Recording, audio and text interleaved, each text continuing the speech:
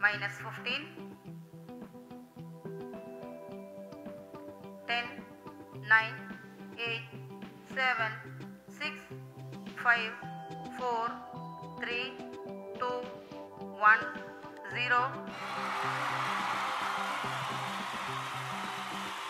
plus 5 seconds Lift off normal. Here tracking. we have a majestic liftoff of LVM-3 M4 rocket carrying India's prestigious Chandrayaan-3 spacecraft. P2 tracking. प्रज्वलन और सफलतापूर्ण उत्थापन L V M three M four rocket का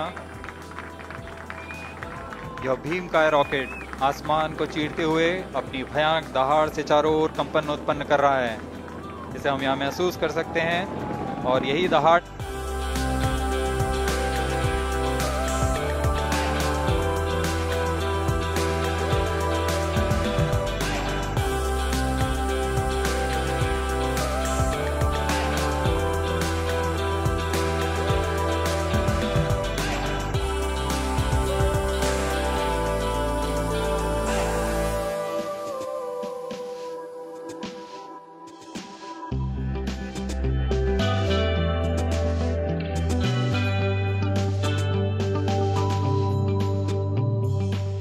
Now, 3,900 kilograms Chandrayaan 3 spacecraft is being sent to the moon with the objective of making yet another focused attempt to slowly land on the lunar surface and to explore it with the help of a rover. A little later, the lander will separate from that module and will attempt to make a soft landing in the south polar region of the moon.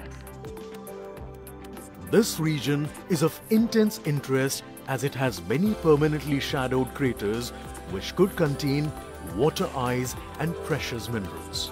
Chandrayaan 3 lander has four scientific instruments or payloads of which one will study the moonquakes while the other one studies as to how the surface of the moon allows heat to flow through it.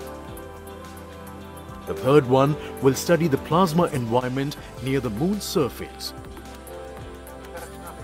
And the fourth instrument will enable scientists to measure the distance between the Earth and Moon very accurately. The two instruments on the rover help us study the composition of the moon's surface using X-rays and laser respectively. While the lander and rover will be in direct contact with each other. The propulsion module circling the moon will observe the light coming from Earth, the only planet which we know which is definitely teeming with life.